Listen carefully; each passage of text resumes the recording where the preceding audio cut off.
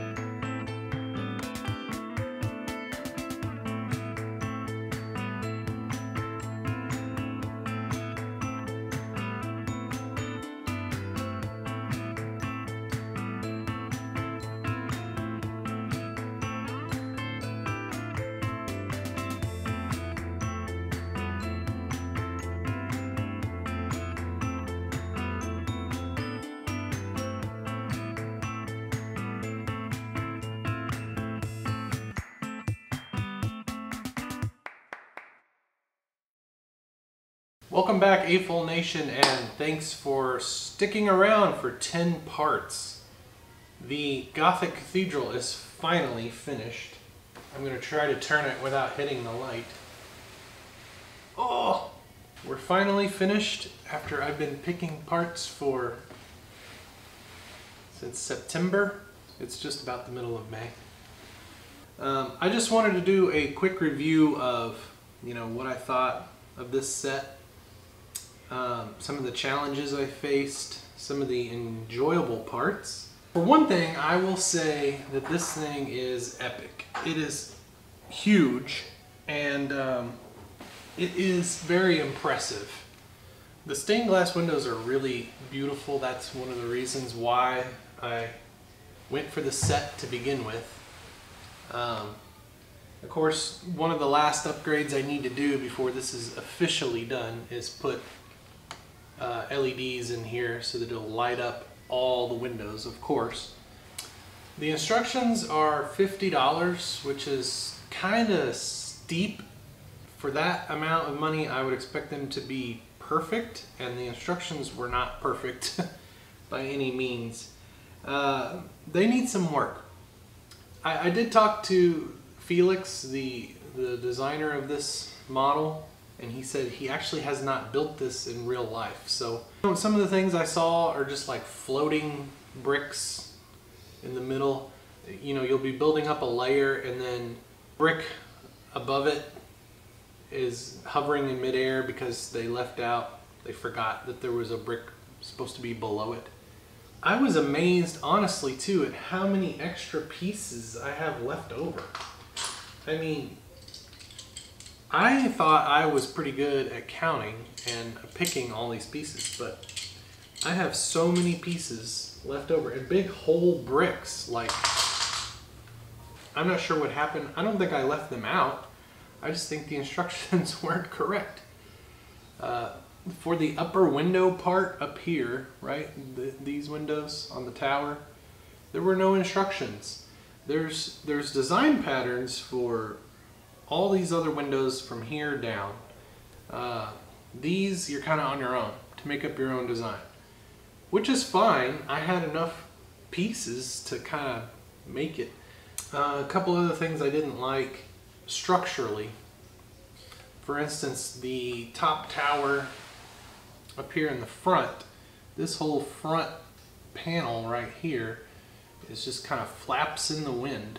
So I had to change the design to tie it in here at the bottom. So when you actually take off the tower, it's, it's a little more structurally sound. Uh, another thing, just like he used this piece, you know, several throughout here, he used like one, two, three, four, five, six, six of these double studded pieces to hold on, you know, arches and in various places. And you just don't need that much structure to hold something on that is so lightweight like this. Um, I wised up a little bit towards the end and started to just put one stud here and one stud up here uh, to hold on the arch. And that works out fine and I saved those pieces which again I can use in another build uh, for some, some other time. I found several of those type of occasions where I could save money, you know, like my little gargoyles here are actually T-Rexes. The uh, original design had called for some dragons, but these were in plenty of supply at uh, the Lego shop right down the road from me, and they look they make pretty good gargoyles. Overall, this is a magnificent piece of work of art. Um, I um, but I enjoyed building it, and I can't wait to see what it looks like, you know, lit up. So if you enjoyed watching me build this, um, epic Gothic cathedral. I appreciate you for sticking around for 10 parts. Um, please subscribe and uh, wait and see what my next project will be. Oh, yeah, wait, I forgot one more thing. Forgot one little piece.